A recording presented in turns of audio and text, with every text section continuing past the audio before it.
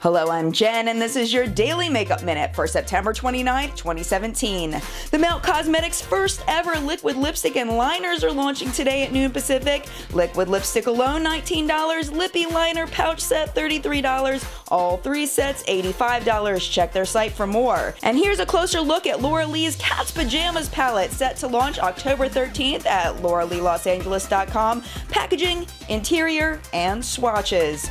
Who is She Cosmetics has apparently changed their name to Clean Slate Cosmetics and now taking pre-orders at Unicorn Cosmetics site the Spookalicious brush set. This is the one with the color-changing body heat reactive handles that change from black to orange and it has this neat bag shaped like a coffin. $44 will ship on October 13th.